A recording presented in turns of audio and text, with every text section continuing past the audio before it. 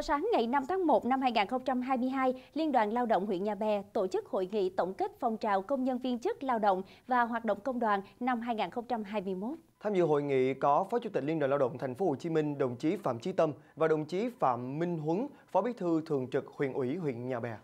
Chịu tác động chung của dịch bệnh, năm 2021, khu công nghiệp Hiệp Phước có 25 trên 159 doanh nghiệp tạm ngưng hoạt động, 50 trên 159 doanh nghiệp sản xuất theo phương án 3 tại chỗ. Do đó, Liên đoàn Lao động huyện chú trọng tổ chức các hoạt động chăm lo, hỗ trợ trực tiếp cho đoàn viên người lao động yên tâm làm việc, phối hợp cùng Ủy ban Nhân dân huyện và các đơn vị chức năng tổ chức tiêm vaccine cho người lao động, vận động chủ nhà trọ giảm 7,4 tỷ đồng tiền thuê phòng trọ cho công nhân, người lao động, hỗ trợ bữa ăn cho người lao động thực hiện 3 tại chỗ.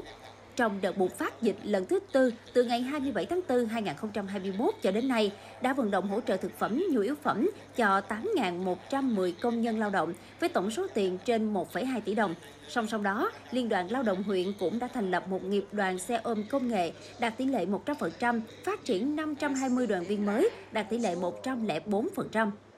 Trong năm 2021, mình được 41 đơn vị được khen thưởng, trong đó có 26 đơn vị à, được ờ, ờ, thành phố khen thưởng ờ, cờ thi đua và bằng khen.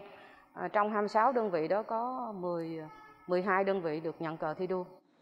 Dịp này, Liên đoàn Lao động huyện trao 45 sổ tiết kiệm tặng cho một cá nhân và 44 trẻ mồ côi do cha mẹ mất vì dịch Covid-19.